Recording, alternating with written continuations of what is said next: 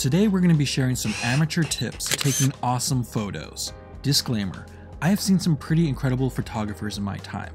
I went to film school and I've even worked on a few sets and have seen these guys and girls work their magic. This video is not about those type of photographers. This is more for amateurs wanting to up their game in a quick and easy way and boost those likes on the gram. We're going to be covering practical advice that you can use with your cell phone or your new camera. Let's jump into it.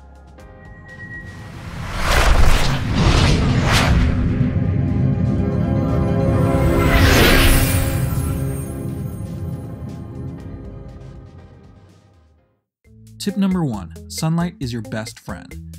If you want to instantly improve the quality of your photos, leverage natural sunlight.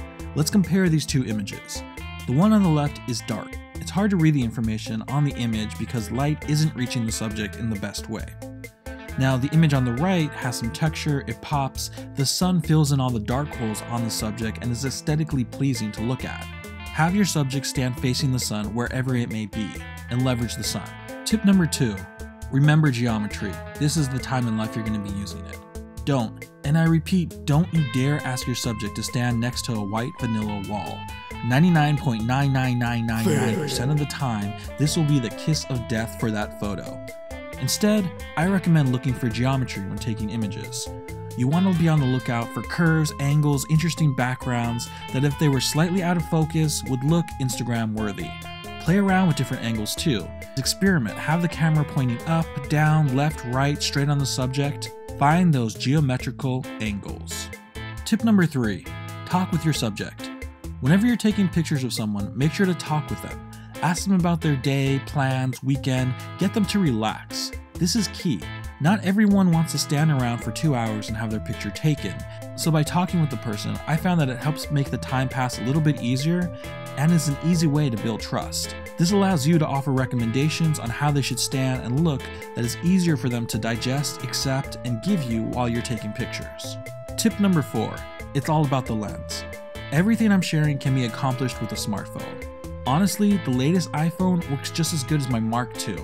But if you're in the market to get a camera, already have a camera and thinking of upgrading your gear for better shots, it's all about the lens. Your gear will do half the work for you on shoots. If you have a sexy lens, it will amplify your quality. In the description below, I'll have links to the lens I use and their costs. I recommend going to Best Buy and experimenting with different lenses before buying the one that you want. Tip number 5 Make lots of mistakes. I want you to think about Instagram models. For every one photo they share, they probably took the same shot a dozen times. Remember that. Take lots of pictures and experiment. Not every picture will be the picture, but that's okay. The idea is you take an image, review it, and make adjustments till you have something that you feel is Instagram worthy. Bonus tip study how other photographers do it and get ideas from them. This is a feed from a really good friend of mine. I'll leave his link in the description below. He is a professional photographer, DP, Instagram famous, and all around cool guy. So, how can you use a page like this in your own photo shoot? One thing I like to do before going out and shooting is look at pages like this for inspiration. Pay attention to the framing, the angle, the lighting, the background. Skim it and ask yourself why you like the ones you like and how can you replicate what they're doing. I hope you guys found this video useful. Let me know what other tips you have in the comments below and remember to like, share, subscribe, tell your mom and dad, every bit helps.